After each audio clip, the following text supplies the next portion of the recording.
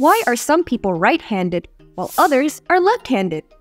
The answer is still a bit of a mystery, but scientists have discovered a gene called TUBB4B that may influence whether a person is left-handed or right-handed. This gene is more commonly found in left-handed individuals. However, genetics also plays a significant role. Left-handedness tends to run in families, indicating a genetic predisposition.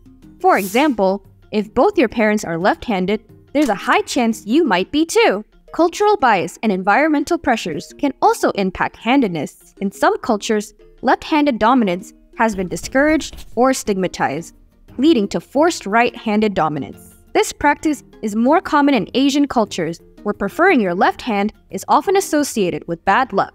Then again, scientists also said that this could all merely be a coincidence, and there's no way to fully know what determines whether a person is right or left-handed. As we celebrate International Left-Handers Day on August 13th, remember that everyone, lefties or righties, is special. Lefties are just a bit more unique.